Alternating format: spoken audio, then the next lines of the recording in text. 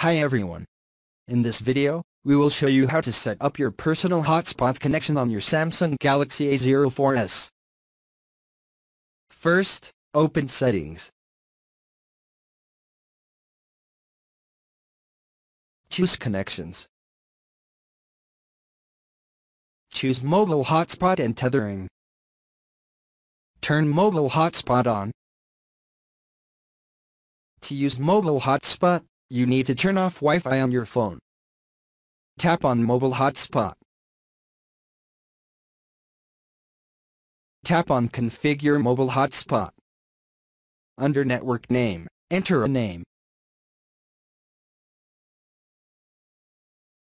Under Security, choose a security option. In this case, WPA2 Personal. Under Password, enter a password at least 8 characters.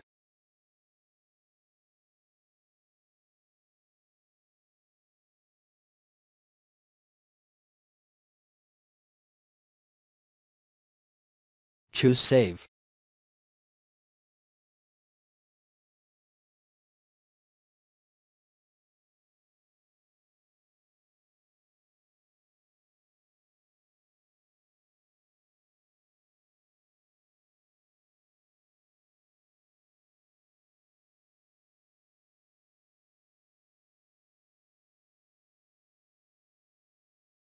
Now the Samsung Galaxy A04s has now been configured for use as a Wi-Fi hotspot.